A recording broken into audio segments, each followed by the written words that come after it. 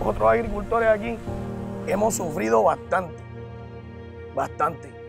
Fueron golpes duros.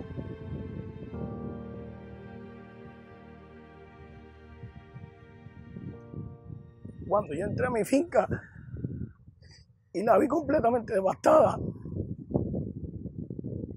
fue un trago amargo, duro, de ver tantas cuerdas de plátano en el piso faltando mes y medio para comenzar a cortarla.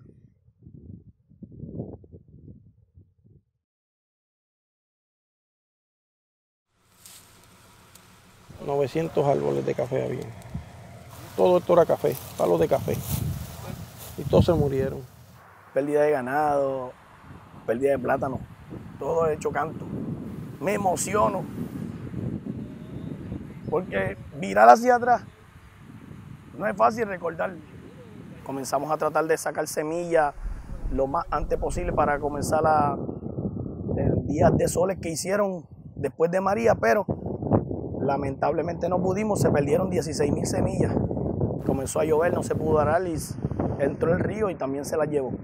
La reconstrucción del dique es muy importante porque la finca cada vez que, llueve en las áreas altas se inundaba de nada.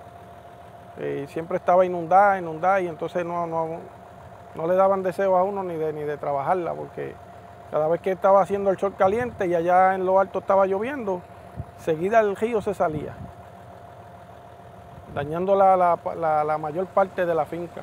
Emocionalmente me afecté y, no tenía deseo de, trabajar la finca, hasta que no vi que pegaron a trabajar, a arreglar el dique, para entonces así me subieron la, moral y el ánimo, y lamentablemente a pesar de que tengo mis nervios un poquito afectados, pero tengo el deseo de trabajar en la agricultura. Estos terrenos se están preparando para, para siembra de, yuca, que es lo más rápido que podemos desarrollar para podernos este, estabilizar en la agricultura.